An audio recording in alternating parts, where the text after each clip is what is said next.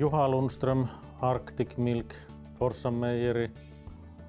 Ja mun tausta on se, että kun ei tullut maanviljelijää, eikä jaksanut lukea eläinlääkäriksi, eikä ole päässyt hevosalalle, niin sitten tämä meijeriala on ollut se, mitä on aina tehnyt. Suvun toinen rasite.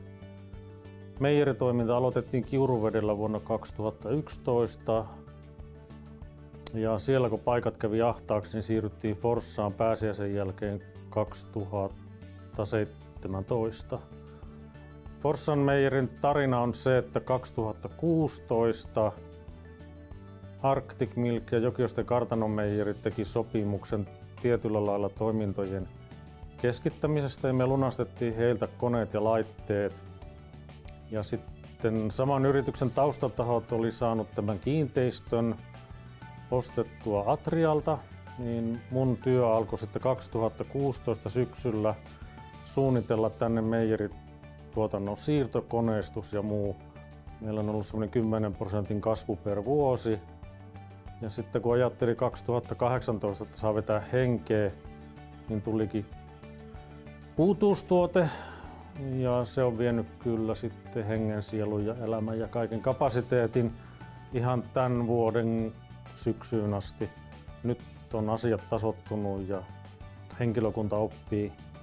Nyt meitä on semmonen vajaa 20 henkeä ja Forssasta hoituu kaikki muu paitsi pääosin myynti, koska meidän Heidi tekee myyntiä kotoaan Kangasalta. Et muu toiminta on täällä valmistus, lähettämö, tuotekehitys. Näyttää, että tuotanto kuitenkin on kasvusuunnassa, niin meillä on kovat paineet kehittää henkilöstöä ja saada porukka pelaamaan enempi yhteen, ymmärtämään toisiaan.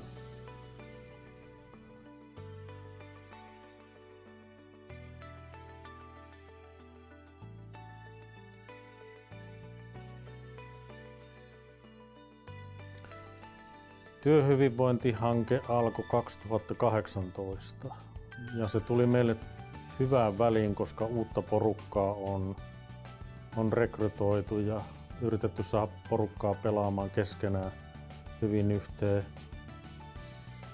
Ja siinä on ollut suurin yllättäjä se Thomas-analyysi.